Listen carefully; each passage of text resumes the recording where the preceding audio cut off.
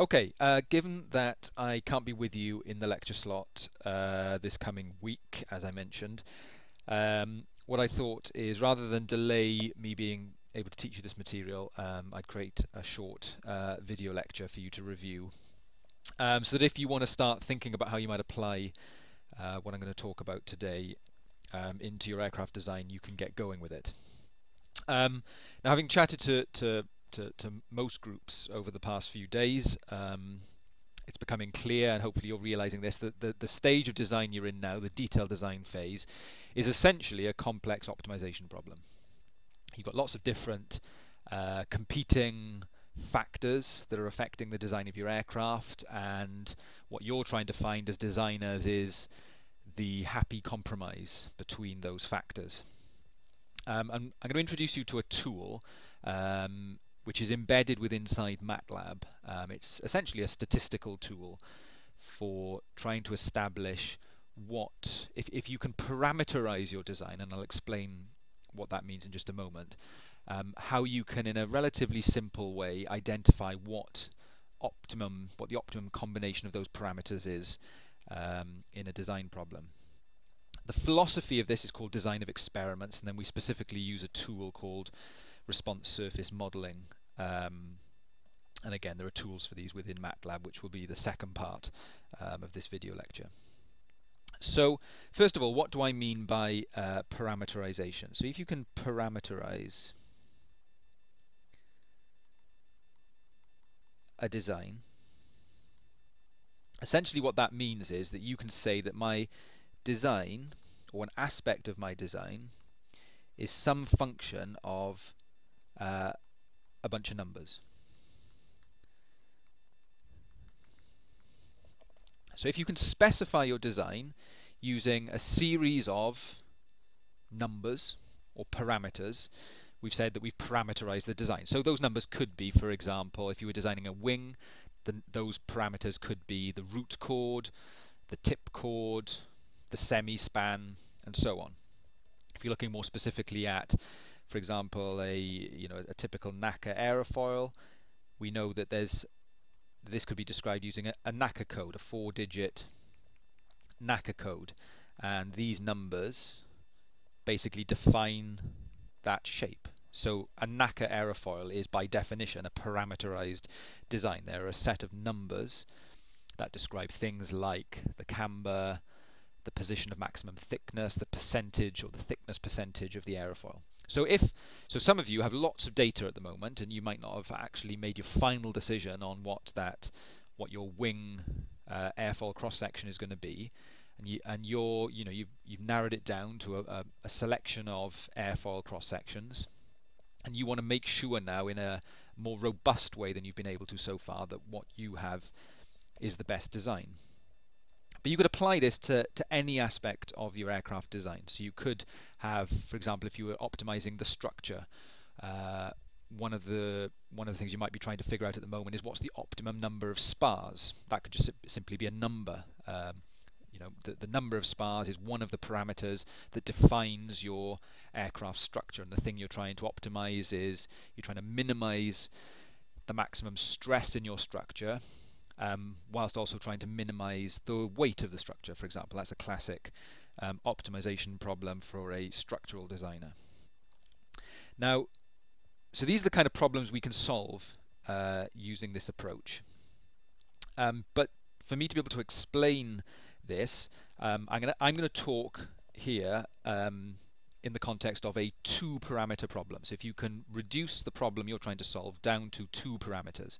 So if you were designing an airfoil, you could decide, right, I'm going to fix uh, the camber, for example, and the two parameters I'm going to play with in my optimization problem are the thickness percentage of the airfoil and the position of that maximum thickness on the airfoil. Um, but these could be any two parameters. And essentially what you do then as the designer is you say, well, what I've got to do next is construct a design space where we've got parameter 1, phi 1, parameter 2, phi 2. We'll call this the design space of our problem. and I'll say, okay, I know that there's a minimum value of parameter 1, phi1 min, and a maximum value of phi1 that I'm going to allow. Now often that could be, there's a geometric constraint, for example, on this parameter. There's a maximum thickness you're allowed for practical reasons, uh, and if you're the aerodynamicist, your structural guy might have said to you that the, the uh, the, the minimum thickness I'll allow you to have on your aerofoil is this, and that defines what we would call the constraints on the problem, the, the outer boundaries of our design space. Uh, similarly, we can place minimum and maximum values. Now, if there are no obvious geometric or uh, other reasons for placing these constraints, you might just have to make an educated guess on what would be a sensible range over which to allow the parameters to vary. Now I'm explaining this because when you're working on a 2D space, two parameters is about as easy as it is for me to draw. But this this principle extends to any number of parameters that you might have.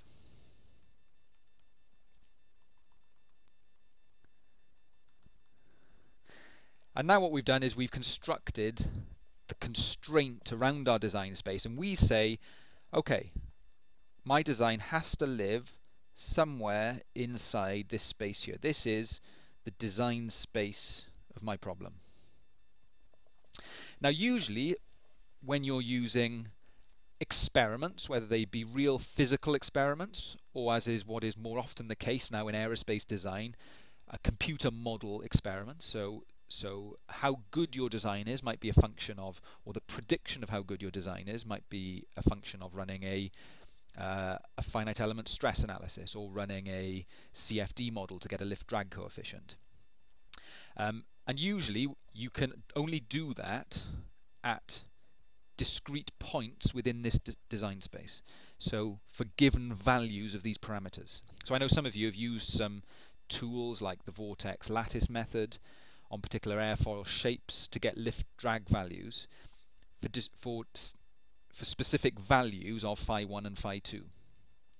And essentially what, what design of experiments says tells you is where is the most efficient where are the most efficient points to sample this design space.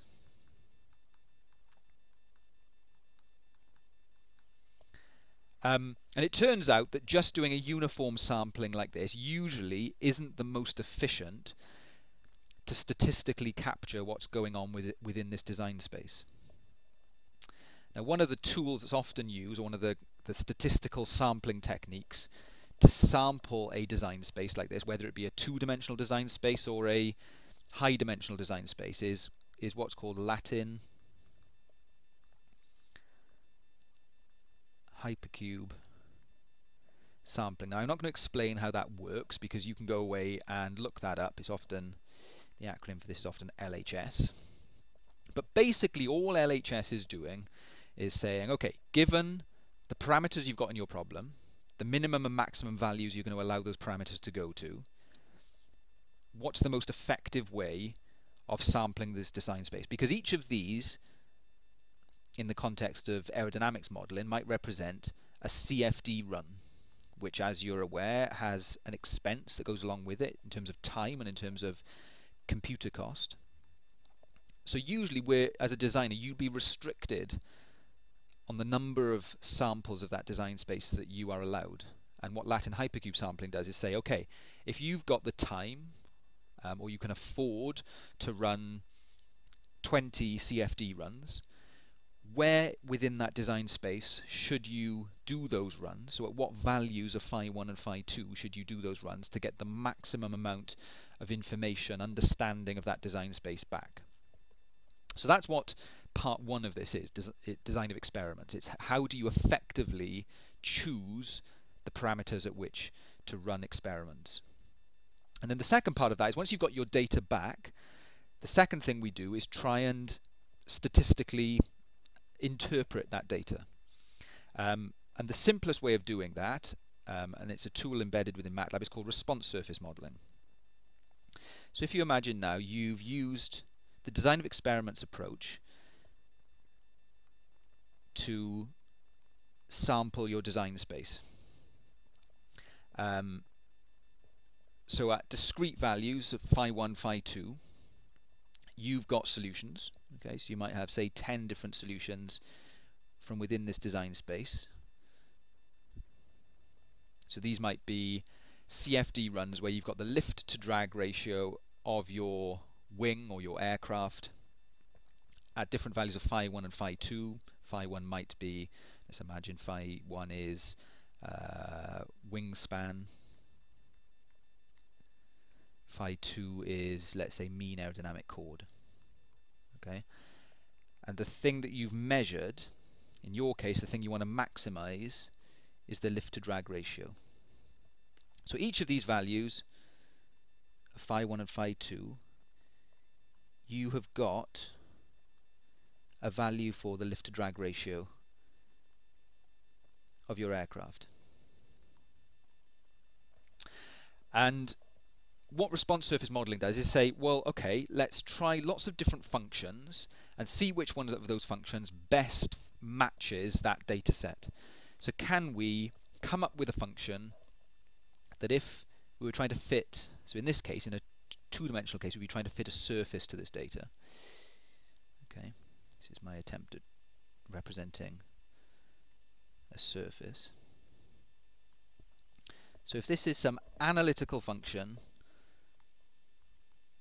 of phi 1 and phi 2, what what's the best function to represent the data we've got?